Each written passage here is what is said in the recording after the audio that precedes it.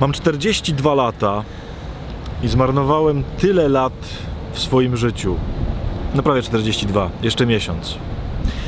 Jak tak myślę o wszystkich tych latach mojego życia, to oczywiście nie wszystkie, ale jest bardzo wiele takich, które zmarnowałem. Na grzechy, na głupoty, na robienie nic, na życie bez sensu. I nie zamierzam już zmarnować ani jednego dnia mojego życia. I właśnie o tym będzie chyba dzisiejszy vlog, tak mi się wydaje. Mówiąc krótko, dzień dobry, dzień dobry. Bardzo serdecznie Was witam w kolejnym etapie y, podróży przez Europę. Y, Jeżeli śledzicie, może tak niektórzy, y, moje wędrowania albo raczej jeżdżenia, to wyjechaliśmy właśnie z Frankfurtu i zmierzamy w kierunku Mediolanu. Mam nadzieję, że dzisiaj po drodze będzie trochę więcej y, jakichś fajnych widoków, takich w sensie tych drogowych, bo do tej pory to cały czas widzicie autostradę, tiry i tak dalej, bo teraz będę jechał przez Szwajcarię i prawdopodobnie przez Alpy, tak mi się wydaje, o ile kojarzę chociaż trochę tą mapę y, Europy, więc mam nadzieję, że w Alpach będzie chociaż trochę fajniejszych obrazków drogowych, ale tak w ogóle to będziemy gadać pewnie w Mediolanie, dopiero jak dojadę. To będzie o tym, że naprawdę nie warto marnować już ani jednego dnia życia, no bo ile można. Mówiąc krótko, jedziemy. A zanim jeszcze pojedziemy, znowu zatrzymałem się na tym, na stacji Esso, tylko tym razem w Niemczech, na Esso. Mają równie dobrą kawę, jak była w tym, w Holandii. Jest trochę taniej niż w Holandii, więc w ogóle super. Więc jakbyście byli gdzieś w Europie, to polecam stację Esso. Nie mam z nimi żadnego kontraktu, ale mają naprawdę strasznie dobrą kawę. A tak dla mnie to jest podstawowy powód, żeby zatrzymać się na jakiejś stacji. Dobra, jedziemy, bo nie marnujemy ani jednego dnia naszego życia.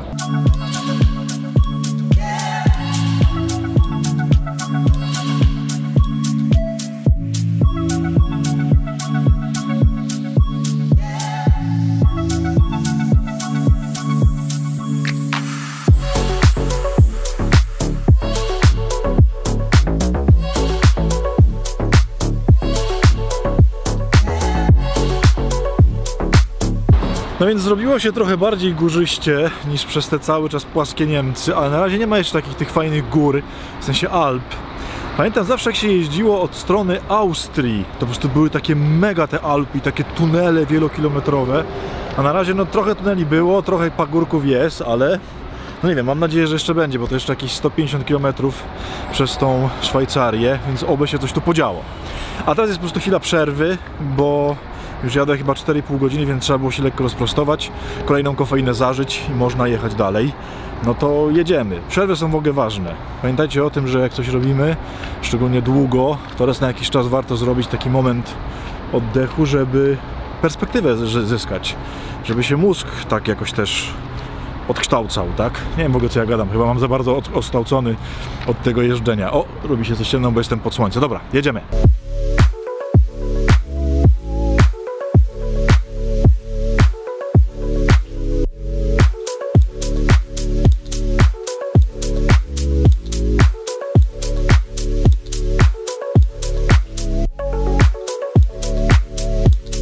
Więc moi drodzy, udało mi się dotrzeć do y, Mediolanu. Zaparkowałem gdzieś niedaleko centrum i teraz spróbujemy się przejść szybko do centrum, żeby cokolwiek zobaczyć z tego bardzo pięknego miasta. Byłem tu kiedyś na Światowych Dniach tych, nie, nie, nie na Światowych Dniach, na TZ.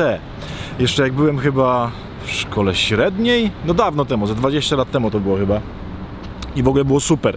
Więc mam dobre wspomnienia z Mediolanu, a teraz szybko zobaczymy centrum i potem ja muszę jechać dalej, ale mam nadzieję, że będzie ładnie.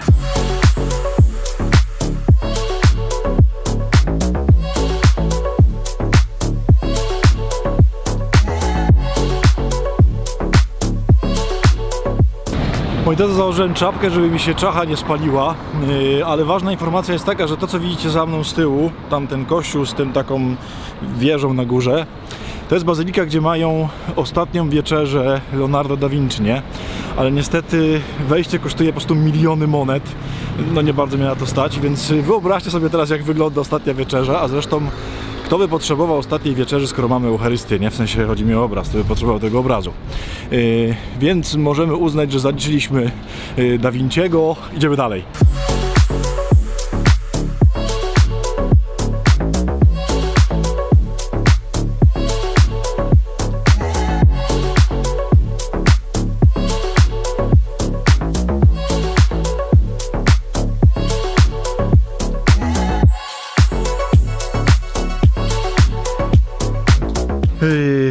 Więc moi drodzy, tutaj Wam mogę, chciałem pokazać kościół świętego Ambrożego, on jest bardzo ładny, ale wokół jest w ogóle jakiś remont totalny, nie da się zrobić żadnego zdjęcia, w ogóle wszystko jest pozamykane, dziwne jakoś takie w tym Mediolanie. Ale może zróbmy, zanim mi spali całkiem glacze, yy, pierwszy punkt odnośnie tematu naszego dzisiejszego vloga, czyli nie zamierzam zmarnować ani jednego dnia. O co chodzi, kochani? Jest kilka powodów, znaczy prawdopodobnie to pewnie kilkaset albo kilka tysięcy, ale kilka takich przestrzeni, które sprawiają, że marnujemy swoje życie. I chciałbym Wam po prostu kilku opowiedzieć w tym, w tym vlogu. Zobaczymy o ilu.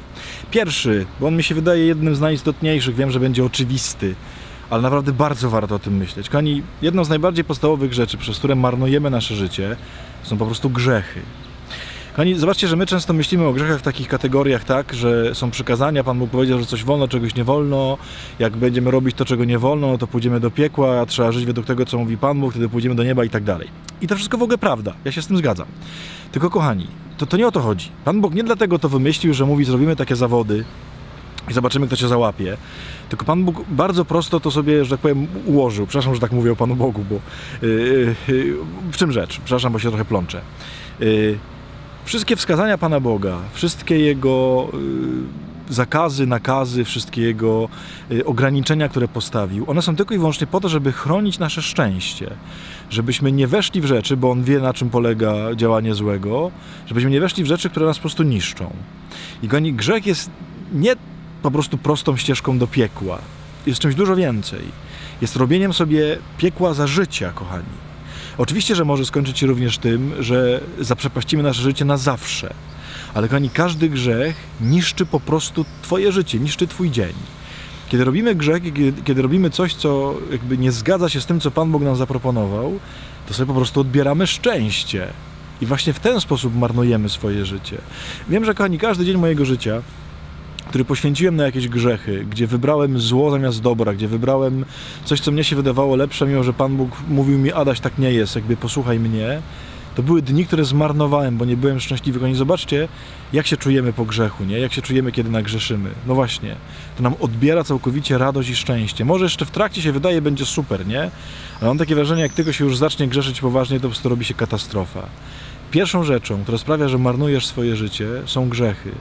Więc nie marnuj swojego życia i po prostu nie rób kolejnego dnia na to, żeby, żeby grzeszyć, nie? Bo dlatego, że każdy dzień, w którym grzeszysz, to jest dzień zmarnowany, to jest dzień, kiedy sobie odebrałeś szczęście.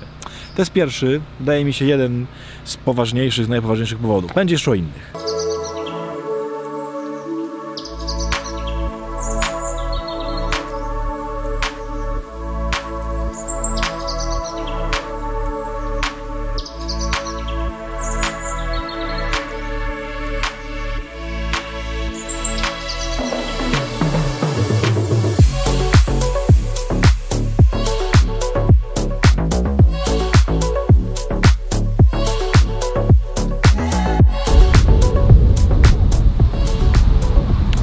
Nie wiało, bo wtedy będzie mi szumiało w mikrofonie. Bo moi drodzy, coś chciałem powiedzieć.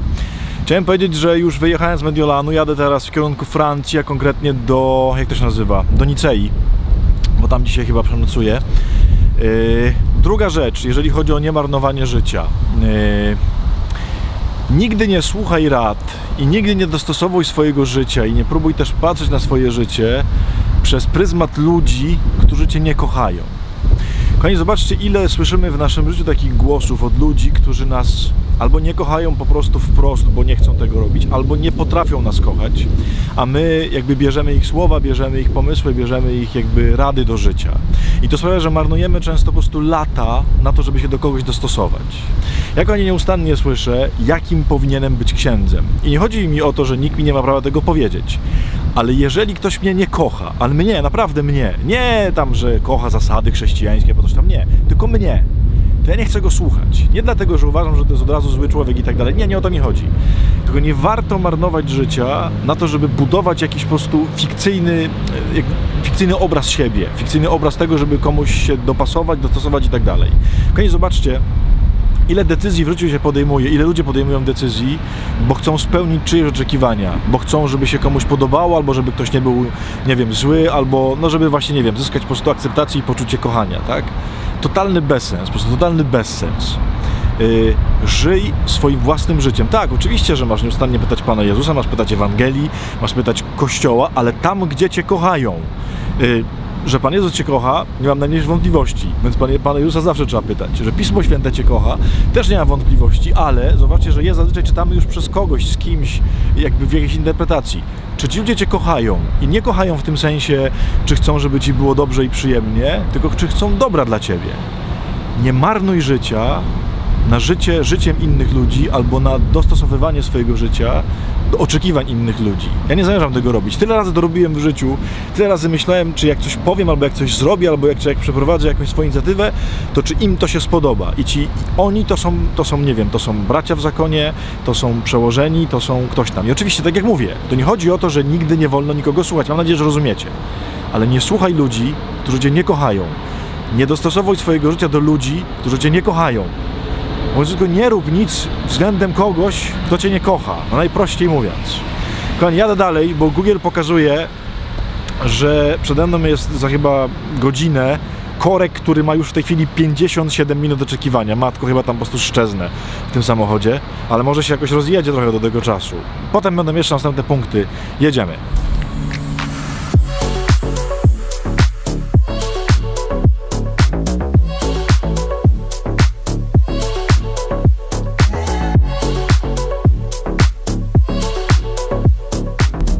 Moi drodzy, tak jak Google przewidział, 50 minut korka, znaczy no zostało jeszcze 30 parę.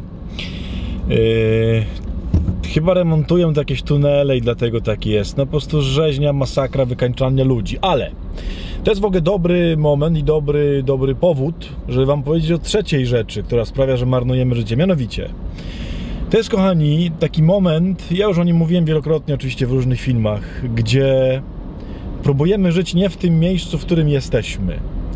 Czyli zawsze żyjemy, znaczy zawsze, bardzo często żyjemy albo w przeszłości, albo w przyszłości. Kochani, było już wiele odcinków na ten temat, więc po prostu bardzo krótko. Część z nas żyje nieustannie rozpamiętywaniem, jak to było dobrze kiedyś, tak? I to nie jest tylko domena ludzi na przykład starszych, którzy mówią, że w ich czasach to było lepiej, a teraz to jest po prostu wszystko się popsuło. Nie. Wielu z nas ma takie jakieś dobre wspomnienia z jakichś tam dawnych lat i sobie mówi, kiedy to wróci. Zarówno jeżeli chodzi o wiarę, jeżeli chodzi o miłość, o nie wiem, o rodzinę, o, o jakieś marzenia i tak dalej. Czyli jakby kiedyś to było, a teraz się wszystko popsuło. Ewentualnie druga wersja, czyli żyjemy do przodu, tak? Że kiedyś to może będzie. I mamy jakieś marzenia, plany, mamy jakieś fantazje i tak dalej. Nie chodzi o to, że nie wolno ich mieć, tylko nie wolno w nich żyć. Otóż, kochani, marnujesz życie kiedy żyjesz do tyłu albo kiedy żyjesz do przodu. Masz żyć tu i teraz. Tu i teraz dla mnie to oznacza korek pod Genuą 50 minut. I tak, oczywiście, że na początku moje emocje i tak dalej są wkurzone i dlaczego i w ogóle nienawidzę Włochów, czemu oni są leniwi, nie robią normalnych remontów i tak dalej. To wszystko bzdura. Nie, mam czas, żeby do Was teraz pogadać, wykorzystuję ten czas, żeby do Was mówić. Mam czas, żeby odmówić różaniec. Mam czas, żeby podziwiać miasteczko, które właśnie jest tutaj z boku. Nie wiem, czy widzicie, tam średnio widzicie, ale coś tam może widzicie. Mam czas, żeby odmówić różaniec, żeby się pomodlić, żeby posłuchać konferencji. To jest po prostu taka sama minuta mojego życia, jak każda inna. I plan jest taki, żeby ją dobrze wykorzystać. Nie zamierzam zmarnować 50 minut w korku tylko zamierzam te 50 minut uczynić dobrym życiem, sensownym, takim samym jak i każdy inny, każdy inny moment. No więc właśnie. Kochani, no chciałem wam pokazać jakieś ładne widoki, żebyście zobaczyli, że to ma sens, ale tutaj słowo widać, bo są remonty wszędzie. Więc jeżeli cokolwiek tu będzie widać, to może będzie widać, a jak nie będzie widać, to nie będzie widać. No średnio tu będzie cokolwiek widać, bo widzicie, jest taka decha wszędzie. No, tam przede mną stoją samochody, Coś tutaj oczywiście jak zawsze po prawej stronie się rusza. Nie znacie prawa Marfiego, tak? W sensie znacie prawo... O, ciemno się strasznie zrobiło. Znacie prawo, że y, jedno z praw Marfiego mówi, że samochody na sąsiednim pasie zawsze poruszają się szybciej y, od twojego pasa, nie? I prawo obowiązuje również, kiedy zmienisz pas. Czyli zawsze, kiedy zmienisz pas, to no właśnie, to się poruszają szybciej z boku. Dobra, kochani, z tyłu jest fajnie, bo z tyłu jakieś dziadki jadą samochodem i widzą chyba, że ja nagrywam i strasznie się śmieją, gadają i pokazują palcami. Yy, chyba, was, chyba wam im nie pokażę, bo nie mam trochę jak. Ale ja dalej w korku zamierzam dobrze wykorzystać ten korek i wy również dobrze wykorzystujcie każdy moment waszego życia. Nie żyjcie do tyłu, nie do przodu. Jedziemy dalej.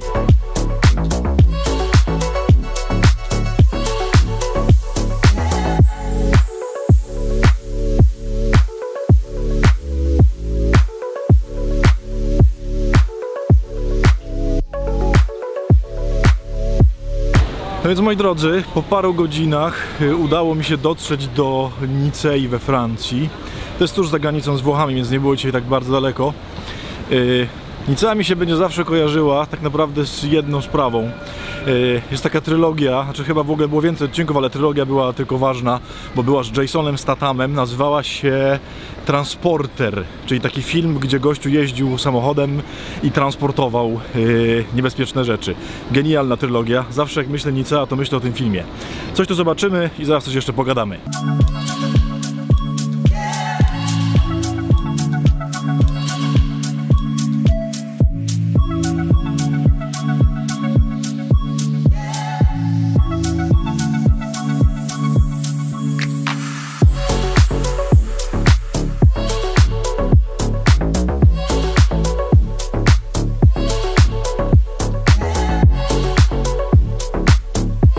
Strasznie to wilgotno jest w tej Nicei, więc wybaczcie, jeżeli będę się jakoś strasznie, strasznie pocił, y, ale chciałbym jeszcze, kochani, dwie rzeczy, w sensie taką jedną podwójną, a propos jeszcze dwóch rad, co to zrobić, żeby nie zmarnować swojego życia.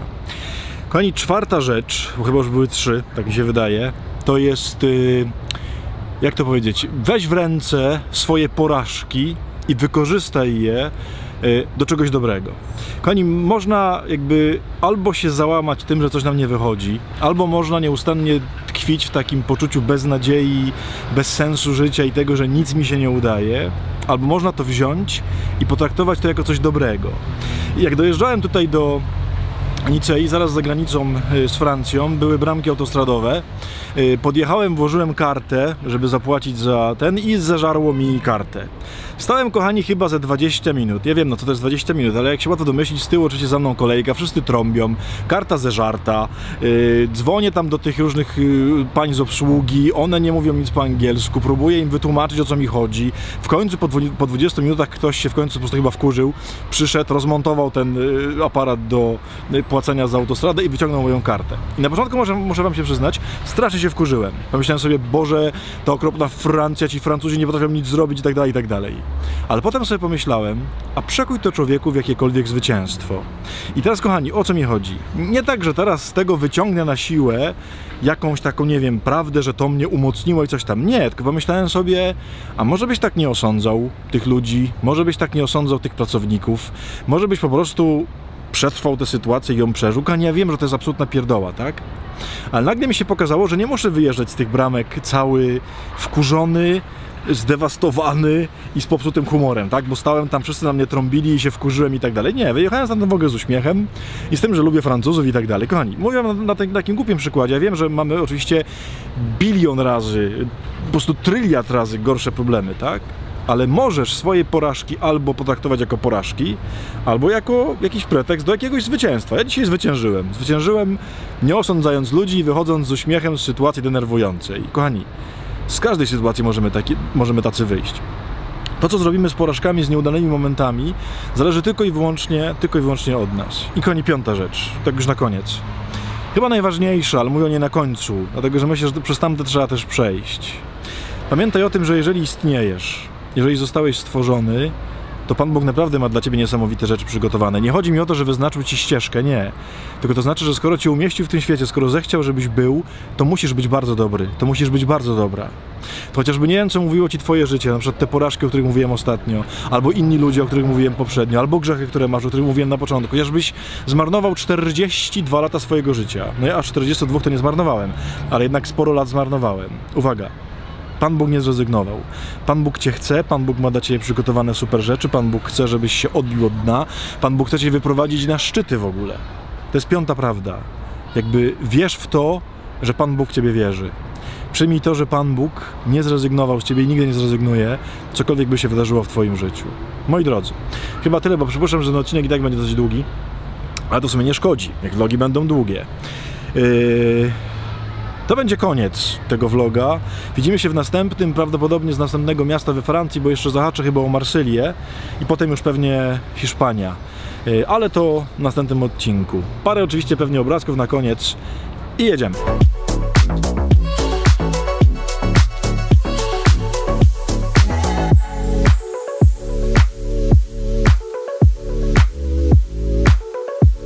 Moi drodzy, to by było na tyle, jeżeli chodzi o ten odcinek. Przyszedł czas na pożegnania, czyli tak jak zawsze Was bardzo ściskam, bardzo Wam dziękuję za kolejne spędzone dni w podróży. Mam nadzieję, że się cieszycie równie jak ja, bo ja się cieszę bardzo z tego, że wreszcie takie normalne vlogi y, mogę kręcić, że Wy je możecie oglądać i w ten sposób możemy się spotykać i w ogóle widzieć fajne rzeczy i gadać o fajnych rzeczach.